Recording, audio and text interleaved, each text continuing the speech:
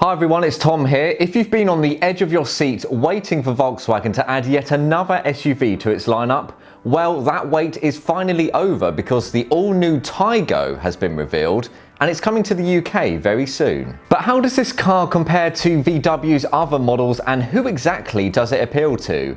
In this video, we'll be exploring the Taigo in detail, taking a look at the sporty design, the four different trim levels on offer, plus the equipment they provide, and the different engine options. So, is this a car you can see yourself driving then? Let's find out.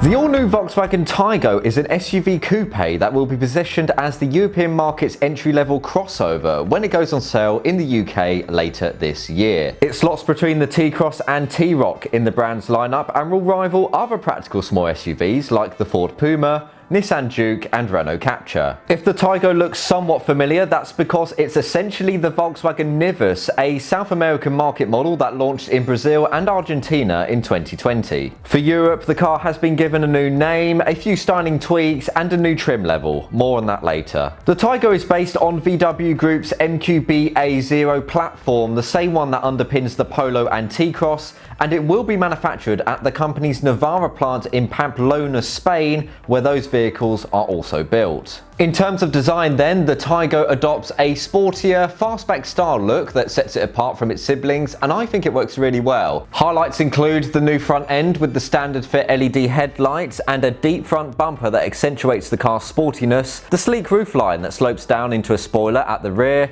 the wheel arch trim complementing the car's body colour and the full width light bar running across the back. You can also choose between 16 or 18 inch alloy wheels depending on the trim you opt for. Overall, it's a nicely designed crossover and quite possibly the trendiest small SUV in its lineup. So how much space will the Taigo take up on your drive? Well, taking a look at the dimensions, it's slightly longer and wider than the T-Cross at 4,266mm and 1,757mm respectively. This means it's around the same size as the popular Nissan Juke. The wheelbase, the distance between the front and rear axles is 2,566mm, almost exactly that of the Polo and T-Cross. The Taigo's extended rear overhang helps to accommodate 438 litres of boot space, 16 litres more than the Juke, giving the car a strong sense of practicality. Let's explore the powertrains on offer and sadly there's not much to get excited about here.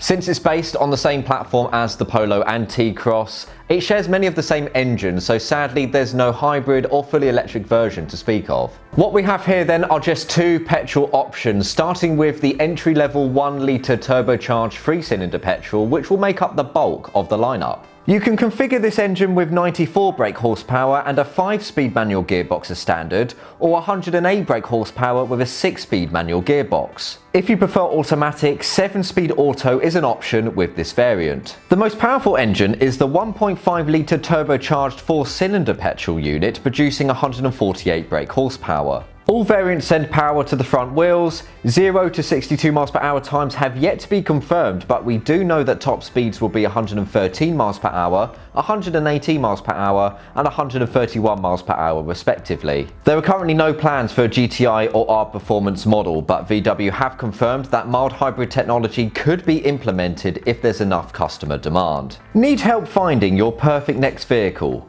Book a free consultation with OSV's vehicle specialists on 01903 538 835 or click the pop-out banner above. It's time for a rundown of the four different trim levels on offer. It hasn't been confirmed yet if all of these will make up part of the UK lineup, but we do know that the higher spec R-Line and style trims definitely will be. Let's start with the entry level car which comes with a great array of standard equipment, but it's worth noting that full specifications have yet to be confirmed. Outside, there's LED headlights and colour-coded heated electric door mirrors. Inside the cabin, which bears a strong resemblance to that of the recently updated Polo, you get a 6.5 inch infotainment touchscreen with radio and smartphone connectivity, a digital instrument display for driving information, and a multi-function steering wheel. A few safety features come as standard, including front assist with autonomous emergency braking and lane keep assist, both ideal for motorway driving. The next trim up the ladder is Life, which will likely strike the right balance between equipment and affordability.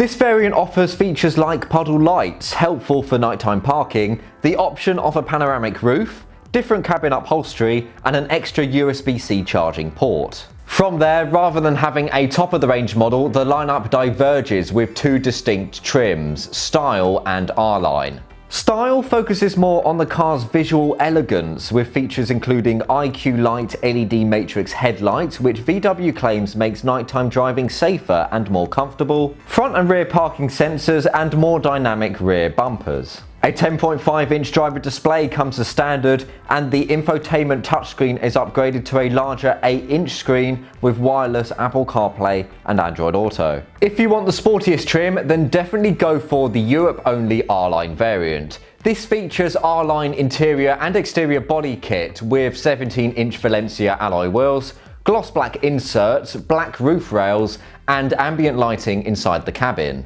Optional extras include a 9.2 inch infotainment touchscreen that can be configured with the Style and R-Line trims, and the IQ Drive Travel Assist semi-autonomous adaptive cruise control. This allows the car to keep a safe distance from the vehicle ahead on motorways by controlling its braking, steering and acceleration at speeds up to 130 miles per hour. So I think this is shaping up to be a really exciting, stylish and practical small SUV.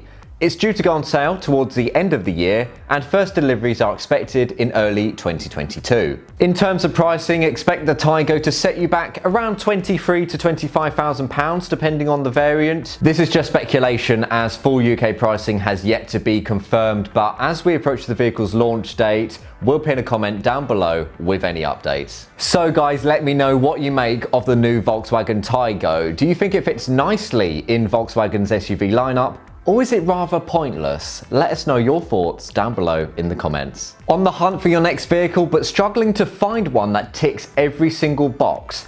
At OSV, we offer a unique consultative approach that ensures we understand your vehicle needs to get you behind the wheel of the perfect maker model. Chat with one of our specialists today on 01903 538 835 or click the link in the description below to book a consultation. If you enjoyed today's video, make sure to give it a thumbs up, subscribe to the channel for more motoring content, and once you're subscribed, don't forget to ring that notification bell above to be informed when a new video goes live. And that's all for today guys, many thanks for watching this episode, take care and safe driving.